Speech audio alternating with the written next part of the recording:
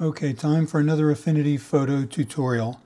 Uh, a couple of weeks ago I did a tutorial on how to do distress text and that was using uh, two filters using um, a diffuse and a median blur and since then I've found another method that I really like as well and this is more of just like a rough edges kind of effect that you can do on text. Then you can also stylize it a little bit. This seems to give you a little bit more control because depending on how you apply the effect that we're going to apply will change the, uh, the roughness of the edges. So let's go ahead and get started. Let's get rid of everything that we got here except for uh, the background for now.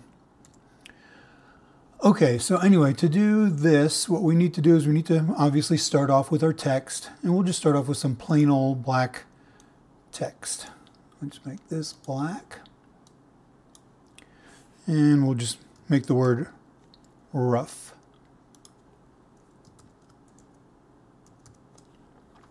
All right.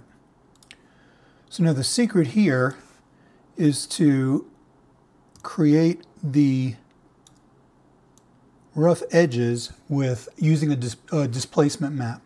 Now you can download displacement maps, you can make your own dis displacement maps, and for our purposes, we're going to make our own displacement map here to show you just how easy this is. Um, let's go ahead and create a blank pixel layer, okay?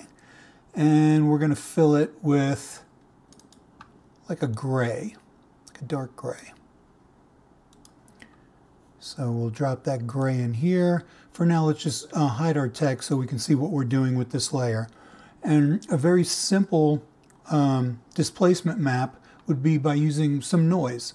So let's go ahead and go to Filters, Noise, and Add Noise. And I've got it on monochromatic, and you can crank up the intensity as much or as little as you want. The thing with displacement maps is they really don't like sharp edges. So we'll go ahead and apply that displacement map to here, but we're also going to put a live filter in there and we're going to add a Gaussian blur. And let's bring that blur up to about, I don't know, let's call it two pixels. Okay, so that gives us a pretty blurry thing to work with here. So now if we bring back our text, obviously nothing's happened yet.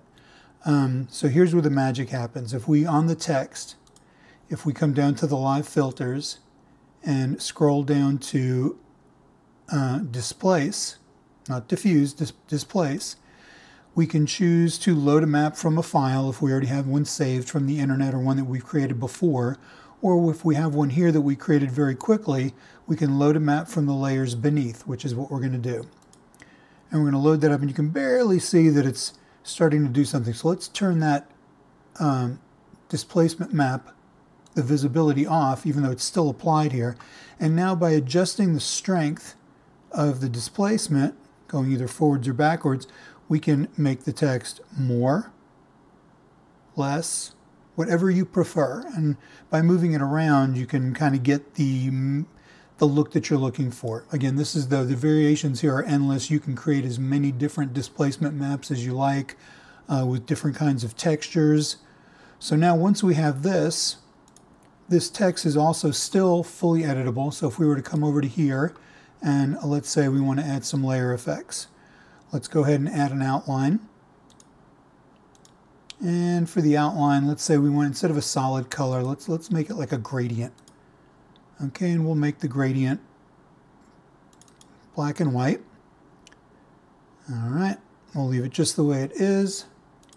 Uh, we'll leave the alignment to the outside. We'll bring the radius up and you can see what's happening here. It's going from left to right. So let's change the angle on that from top to, oh, sorry, yeah, from bottom to top. And then we can play with the scale here to get the kind of look that we're looking for. All right. That's one thing we can do there. If we want to add in like an inner glow, we can do that as well. See if I can recreate kind of something what I did before, bring in some green. And we'll bring the radius up on that.